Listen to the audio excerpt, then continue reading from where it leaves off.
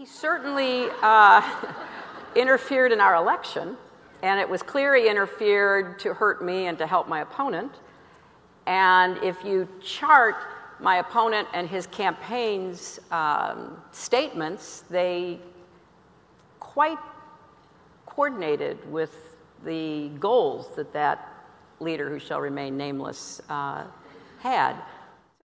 And ask yourself this within an hour or two of the Hollywood Access tape being made public, the Russian theft of John Podesta's emails hit WikiLeaks.